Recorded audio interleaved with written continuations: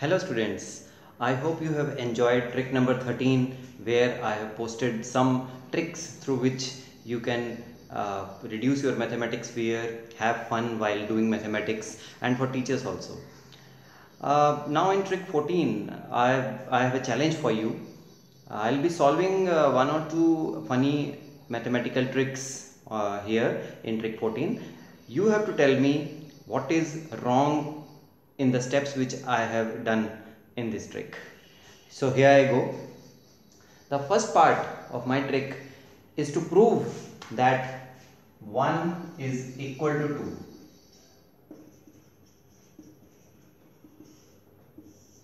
Funny isn't it? 1 cannot be equal to 2 obviously. Now I will adopt one method, I'll demonstrate it stepwise and you have to point out in your comments on this video what is wrong in this procedure. So here I go. Obviously x is equal to x. If we square both sides, x square will be equal to x square.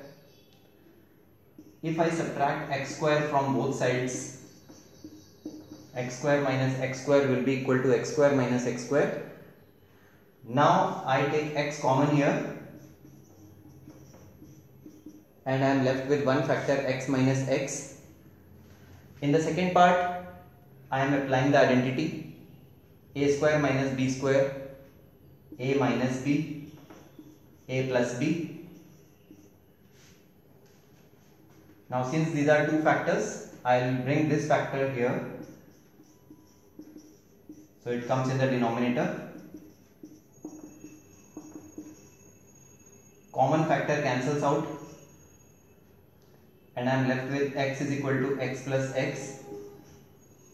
x means 1x and x plus x is 2x. So again the common factor x cancels out and we are left with 1 is equal to 2. This is a mathematical fallacy where there is some mistake in one of the steps. You have to point out what is the mistake in this process. Using the same process, we will try and prove something else. Now this time I will go with the cubes. I have taken squares here. I will go with the cubes now. x cube minus x cube equal to x cube minus x cube. I will adopt the same procedure again. Here I have taken x common. Now I will take x square common. So I am left with x minus x now I'll apply the identity a cube minus b cube. a minus b a square minus sorry plus ab plus b square. This x minus x I'll bring it to this side.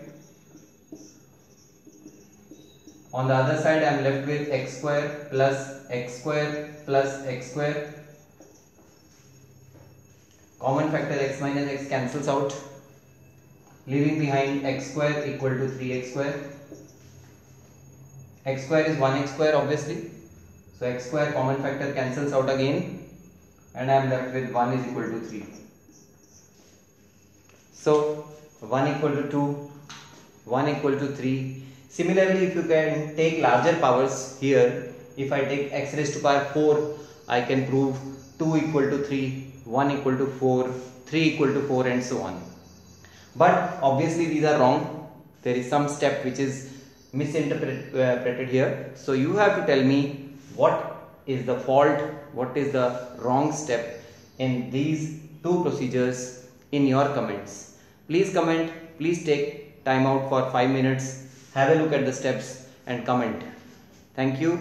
Keep enjoying, keep learning and please share and subscribe I'll be posting the answer of these videos, both procedures in trick number 15.